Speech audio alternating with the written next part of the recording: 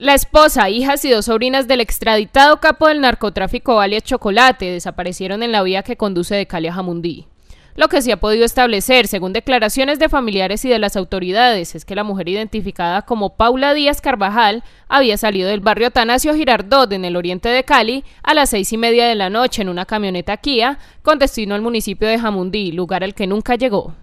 Recibimos una llamada al 123 donde informaban la posible desaparición de de una señora de 29 años, una adolescente de 17 años y tres menores de edad de 9, de 5 y de 3 años. Eh, dos de las niñas y la señora de 29 años son la esposa y las hijas de, de Ale Chocolate, Chocolate, un narcotraficante que fue capturado en el año 2011 en Timbiquí, Cauca y posiblemente extraditado hacia Estados Unidos en el año 2012.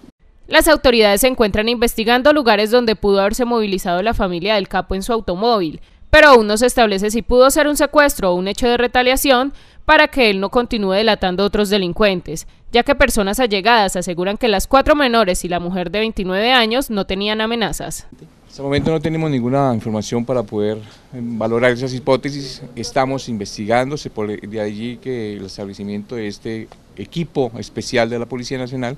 que pretende pues lograr la ubicación de, la familia. Estamos investigando y esperamos pues muy pronto tener alguna información que nos permita esclarecer esto. Cabe recordar que alias Chocolate era el cabecilla de una oficina de cobro a cargo de alias Comba. El sujeto fue capturado en el año 2011 y posteriormente fue extraditado el siguiente año hacia Estados Unidos por narcotráfico.